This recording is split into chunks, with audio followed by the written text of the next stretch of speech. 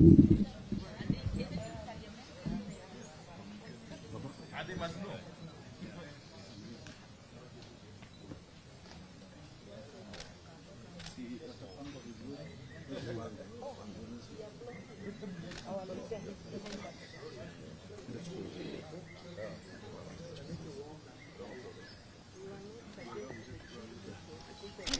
lady,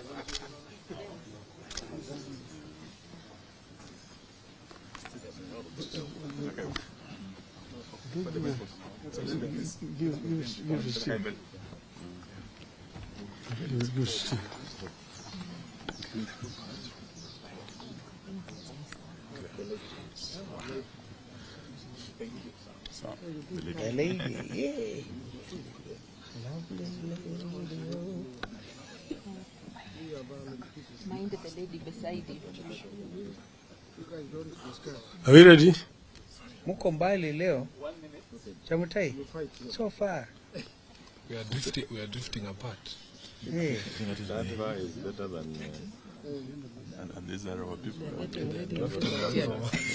There's no tear gas around, so don't be so far. No, no. if they come nearer, they carry, they carry fewer. Yeah. Oh. Let them carry people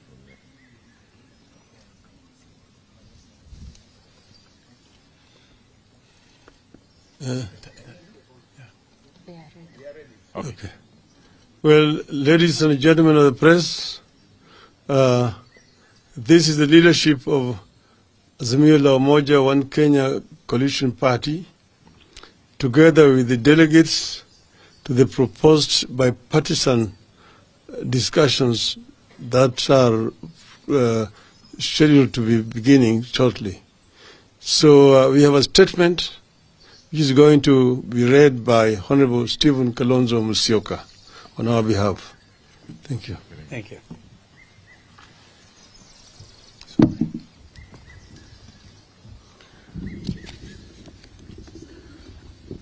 Uh, ladies and gentlemen, this morning, or is it up to late this afternoon? Early, uh, this afternoon, the leadership of the Azimio la Umoja One Kenya Coalition Party, including those from the Houses of Parliament, met with our delegates to the envisaged national dialogue to review developments on the envisaged talks.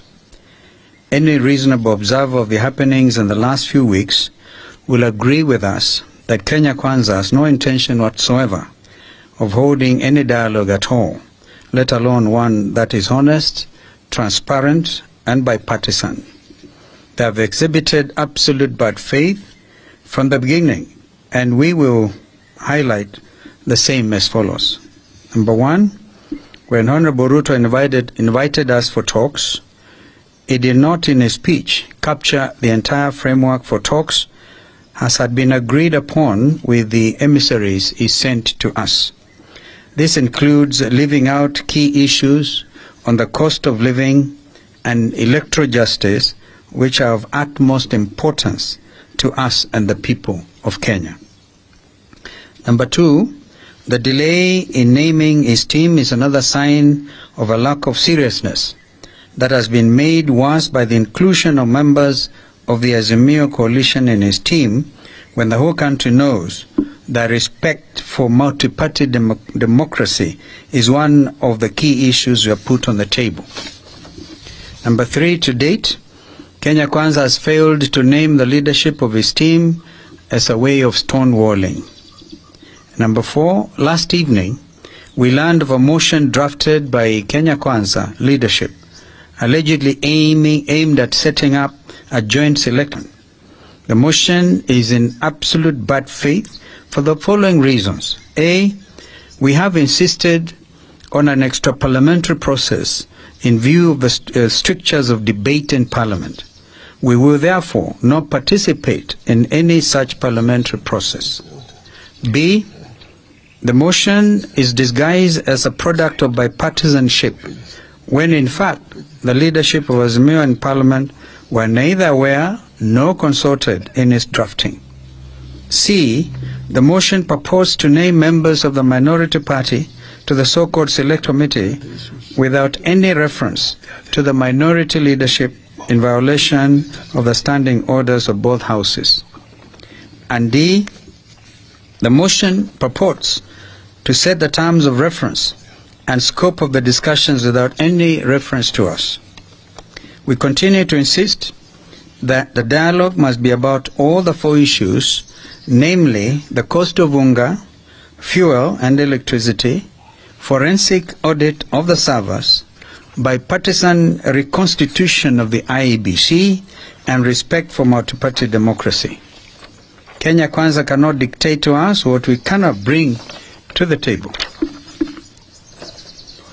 Um, so, given the foregoing, we, as the leadership of a coalition, have resolved as follows.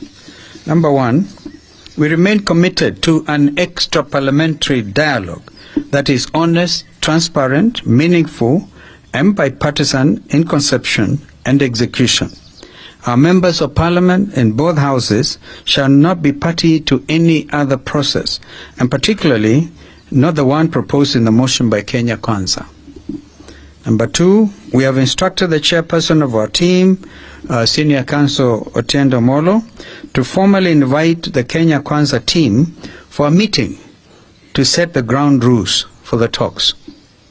Number three, our issues remain what we said before, and they are reduction in cost of unga, fuel, electricity, and school fees, opening and audit of IEBC servers, bipartisan reform and reconstitution of IEBC, reinstatement of the four IEBC commissioners, and end to the buying of MPs, which threatens multi-party democracy.